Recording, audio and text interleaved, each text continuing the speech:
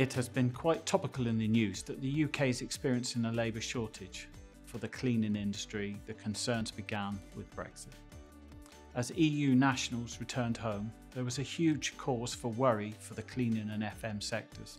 It is estimated that as many as 1.3 million international workers left our shores since late 2019 from a combination of Brexit and the pandemic. There is light at the end of the tunnel, and that is to provide excellent training backed by offering good quality jobs. At the NCCA, we take our training very seriously. It is key to defining the quality and sustainability of our cleaning disciplines.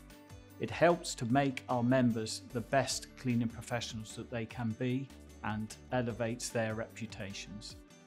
If you want to be a skilled cleaning professional, put your trust in training there's value in knowledge.